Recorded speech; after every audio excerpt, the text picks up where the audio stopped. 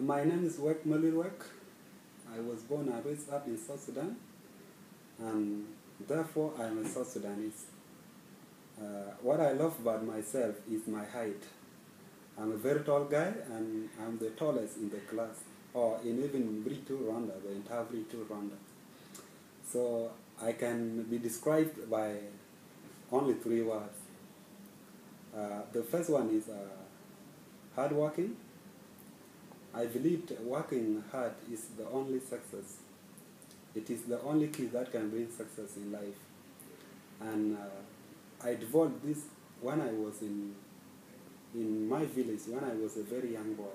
When I started my education, my school, my primary school was uh, two hours from where I lived, and I could uh, walk every day on foot, going there and coming back.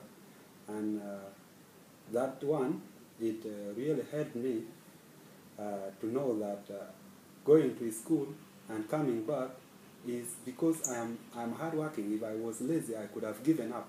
You know, you cannot manage to go there and you come back every day.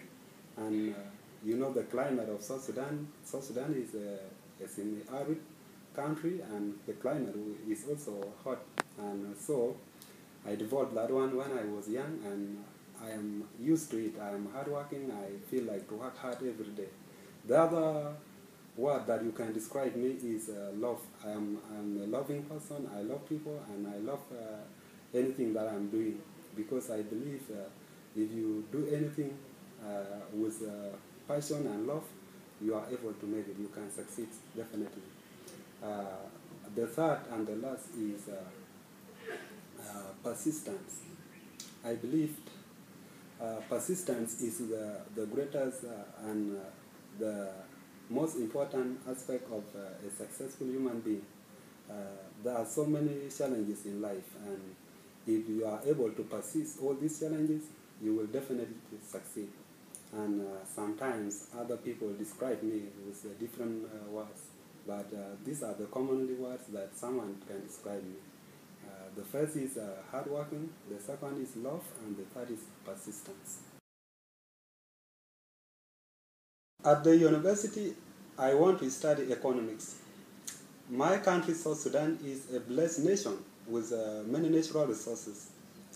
Uh, however, the government of South Sudan is uh, focusing on uh, oil only, leaving other natural resources like livestock. And uh, now the economy of the country is dependent. Uh, it, it, it depends on only the oil. And once the crises like the crises that are happening in the country, the economy collapse. Uh, for me, I want to go and study economics so that I come back and I really help my South Sudanese in uh, the field of economy. And uh, by helping them, I have to know first which challenges are they facing individually, not uh, nationally. In my observation, when I observe South Sudanese, I see them people who are really interested in doing great things in future, but they, they don't know how to do it. They are not shown the way. There are no great economists to conduct the economic program so that they can uh, synthesize the population about the importance of economics. One of the observations is that my South Sudanese who are even working in the government, leave alone the traders, the people who are working in the government, few of them have uh, bank accounts, saving accounts, but the majority of them, they don't have a saving account. Instead, they keep their money in the banks, in their houses. And keeping the money in the house does not uh, uh, uh, add anything because there is no simple interest in keeping your money in your own bank, in your house.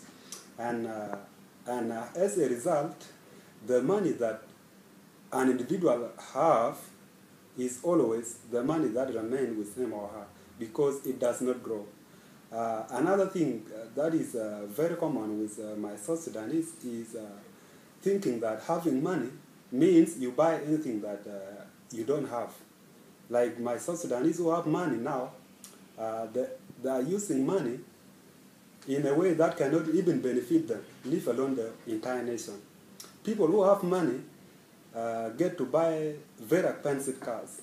Like if you go to city now, Juba City, which is the city of South Sudan, there are many Hummers moving on the road. And that is uh, something which is very rare in countries where economic is really understood. So South Sudan needs uh, people who can really encourage economic by conducting uh, economic programs and investment programs so that uh, the people of South Sudan will be aware that this is the way that we can manage our resources and uh, that one will help the nation and it will eradicate the poverty in the nation.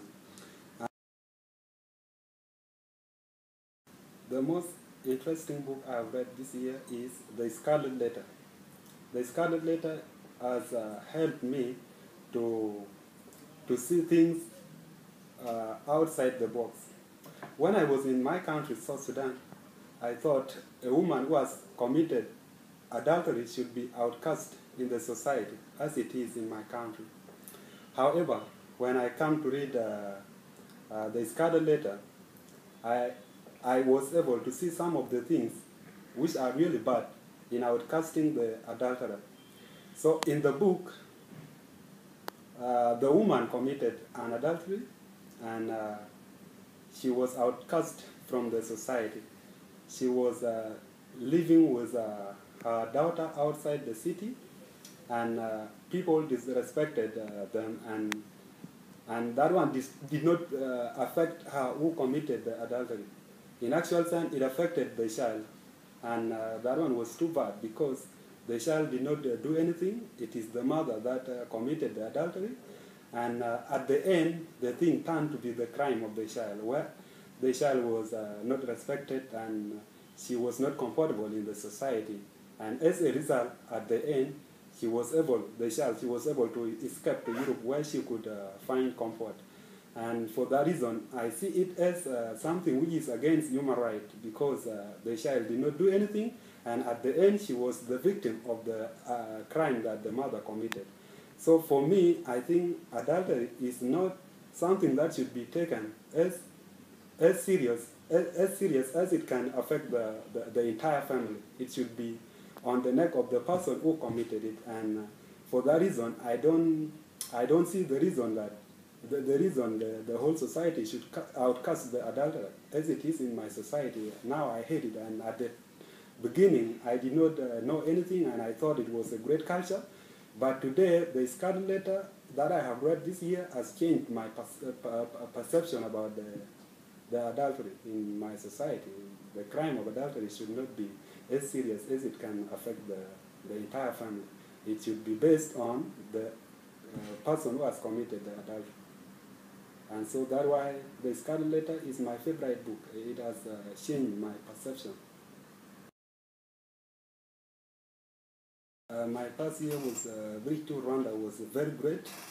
Uh, when I come here, I, I didn't know more about uh, the world, but uh, Bridge to Rwanda, I was able to read many books and I understood many things.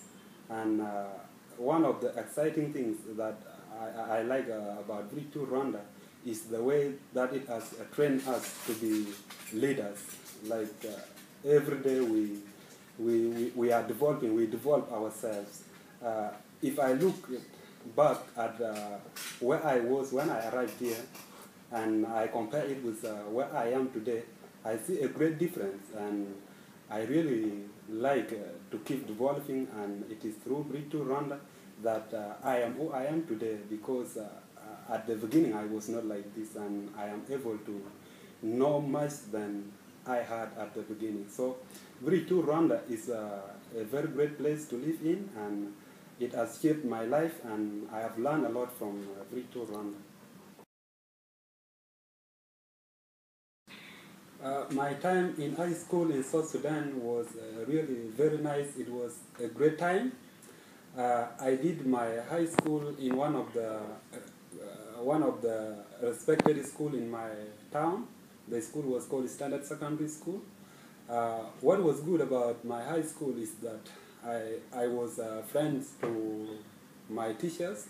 Uh, they knew me very well and I was uh, so good in going to them. I get to talk with them every day and they were able to help me throughout my high school anything that I wanted or anything that uh, I suffered from. I, I would get some uh, pieces of advice from them.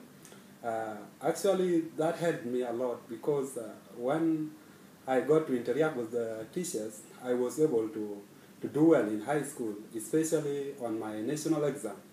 Uh, the things that I discussed with them were the ones that were coming. So they came in the national exam, and I was able to do well, and I managed to be the first person in the whole country, and that was great. So my high school was more than, than, than, than excellent.